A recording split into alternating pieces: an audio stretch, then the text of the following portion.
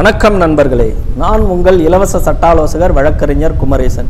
இன்னைக்கு நம்ம பார்க்க போகிற தலைப்பு வந்து அதாவது ஒரு சொந்த மகள் தனது தாயை வந்து கொலை செய்த கிரைம் ஸ்டோரி குறித்து பார்க்கலாம். அதற்குண்டான சூழல் என்ன அப்படிங்கிறது குறித்தும் பார்க்கலாம்.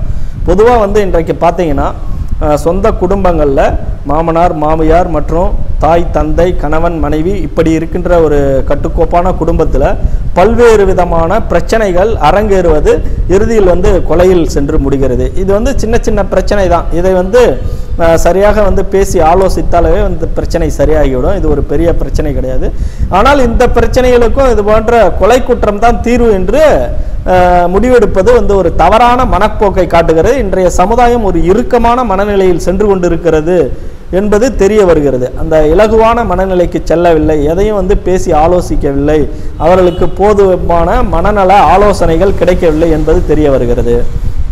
என்ன காரணம்னு பார்த்தீங்கன்னா பொதுவாக வந்து இங்கே கொல்கத்தாவை சேர்ந்தவர் பீவா பால் என்ற ஒரு மூதாட்டி அவருக்கு வந்து எழுபது வயது ஆகிறது. அந்த நபர் அவருடைய கணவர் வந்து தற்போது இறந்து விடுகிறார். அந்த பீவா பாலுடைய மகள் வந்து இதற்கு முன்பாகவே பெங்களூரை சார்ந்த ஒரு பொறியாளரை வந்து திருமணம் செய்து கொண்டு இங்கு பெங்களூரில் வாழ்ந்து வருகிறார். அவருடன் அவர் மாமியாரும் அவரது கணவரும் இந்த பெண்மணியும் வாழ்ந்து வருகிறார்கள். அப்போ அந்த பெண்மணியும் வந்து ஒரு தெரப்பிஸ்டாக அதாவது ஒரு டாக்டராக பிசியோ தெரப்பிஸ்டாக பணிபுரிந்து வருகிறார். அப்படி இருக்கின்ற பொழுது இந்த கொல்கத்தாவில் இருந்த மூதாட்டியினுடைய கணவர் இறந்த உடனே அந்த மூதாட்டி உடனே பெங்களூருக்கு தன் மகள் வசிக்கும். பெங்களூருக்கு வந்து தன் மகளுடன் தங்கி விடுகிறார் இப்படி தங்கும்போது அந்த பிசியோதெரபிஸ்ட் மருத்துவரின் மாமியாருக்கும் அவருடைய தாயாரான அந்த பீவா பாலுக்கும் அடிக்கடி வந்து தகராறு ஏற்படுகிறது. அவர்களுக்குள் வந்து மன ஒற்றுமையின்றி பிரச்சனை ஏற்படுகிறது. நாளுக்கு நாள் வந்து பிரச்சனை அதிகரித்து வருகிறது கருத்து வேறுபாடு அதிகரித்து வருகிறது. இந்த நிலையில் இந்த பிரச்சனையை வந்து சமாளிப்பதற்கும் சரி செய்வதற்காகவும் அந்த பிசியோதெரபிஸ்ட் மருத்துவர் வந்து அவர் பணியை வந்து அவர் வேலைக்கு சென்று கொண்டிருந்த பணியை நிறுத்திவிட்டு வீட்டிலேயே தங்கிவிட்டார். இந்த நிலையிலும் நாளுக்கு நாள் அந்த பிரிய பிசியோதெரபிஸ்டுடைய தாயார் பீவா பாலுக்கும் மற்றும் அவரது மாமியாருக்கும் பிரச்சனை வந்து முற்றிக்கொண்டே வருகிறது. இப்படி இருக்கின்ற சூழலில் இந்த பிசியோதெரபிஸ்டுடைய தாயார் பீவா பால் தனது பேரனை வந்து இதற்காக வந்து கண்டித்துள்ளார். கண்டித்த உடனே அதற்கு உடனே அந்த பிசியோதெரபிஸ்ட் மருத்துவருடைய தாயார் கண்டித்ததற்கு அவரின் மாமியார் வந்து உடனடியாக எதிர்ப்பு தெரிவித்துள்ளார். இதனால் வந்து அந்த பீவாபாலுடைய மகள் அவரது தாயாரை உடனடியாக கண்டித்தார். இது போன்ற நடவடிக்கைகளில் ஈடுபடக்கூடாது என்று எதிர்ப்பு தெரிவித்த உடனே அப்போ என்னுடைய பேரனை கண்டிப்பதற்கு எனக்கு உரிமை இல்லையா? உடனடியாக எனக்கு தூக்க மாத்திரை கொடுத்து கொன்று விடுங்கள் என்று அந்த பீவா பால் கூறியிருக்கிறார் உடனே தனது தாய்க்கு சிறிதும் யோசிக்காமல் இருபது தூக்க மாத்திரைகளை கொடுத்து அவர்களை விழுங்கச் செய்து படுக்க வைத்து விட்டார்கள்.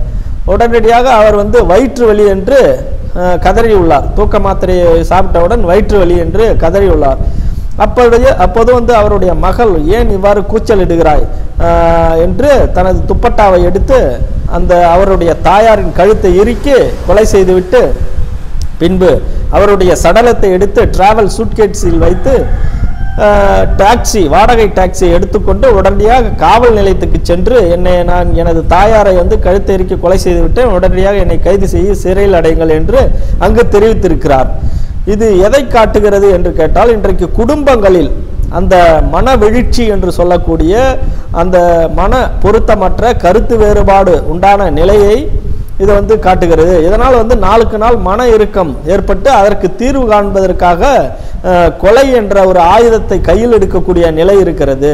இன்றைக்கு குடும்பங்கள் இது போன்ற இறுக்கமான மனநிலையை நோக்கி சென்று கொண்டிருக்கிறது.